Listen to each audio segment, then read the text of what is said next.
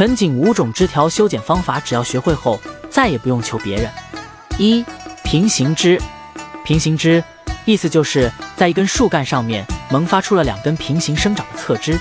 而为了让盆景看着更加的清爽，于是就会剪去其中的一根枝条，让整体造型看着更加雅致清透。二、交叉枝。交叉枝就是两根交叉在一起的枝条，这样的枝条会让盆景整体看起来十分的杂乱，所以最好是剪去交叉枝条当中的一根枝条，让植株看起来更加的干净利落，不显杂乱。三、重叠枝，重叠枝长得和平行枝类似，但是它却比平行枝还要密集，就是两根挨在一起的枝条。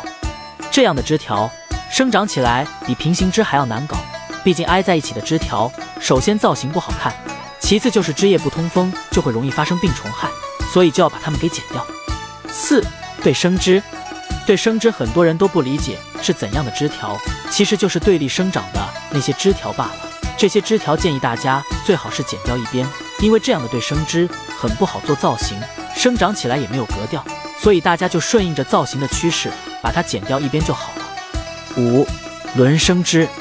轮生枝和对生枝的生长状态是差不多的。但就是轮生枝会比对生枝多一点，就是会在一个枝节处长出一轮的枝条来。这时候就建议大家只留下其中的一根枝条即可，这样才能够重点突出盆景的韵味来。修剪盆景枝条就是一个取舍的过程，只要定好一个大致造型方向，然后再按照上面五种修剪枝条的技巧来修剪，那么基本上都不会剪错枝条了。关注我，了解更多盆景小知识。